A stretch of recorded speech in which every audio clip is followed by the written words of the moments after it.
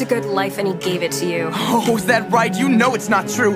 Look, you're no good, you're no good. You could kill me and you should. I'm an idiot for thinking this was anything but.